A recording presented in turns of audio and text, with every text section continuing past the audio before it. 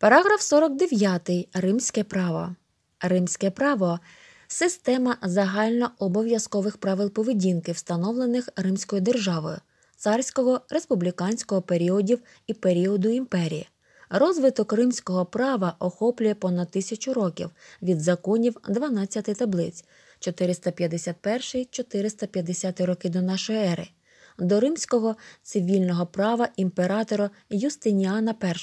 Римське право послужило основою правових систем у континентальній Європі, а також в Ефіопії та найдавніших європейських колоніях. Норми римського права уривки нікого не виправдовує незнання закону. Ніхто не може бути покараний двічі за той самий злочин, ніхто не може бути суддею у власній справі. Треба вислухати і протилежну сторону. Під час війни закони мовчать. Закон ухвалений і встановлений для всіх і заради блага всіх. Благо народу вищий закон. Договори треба виконувати.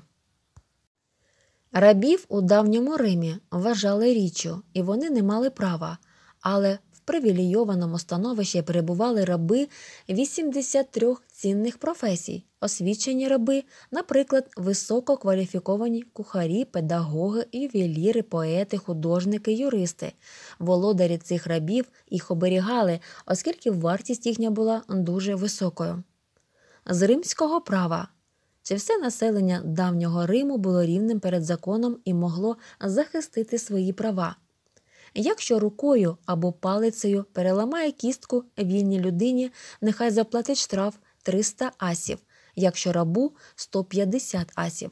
Щоб уникнути свавілля, за кожним римським громадянином визнавалося право звернення до народних зборів. Рішення останніх було остаточним. Справи про злочини рабів розглядали, як правило, домашнім судом рабовласника. У раба не було жодних гарантій і жодних прав на захист.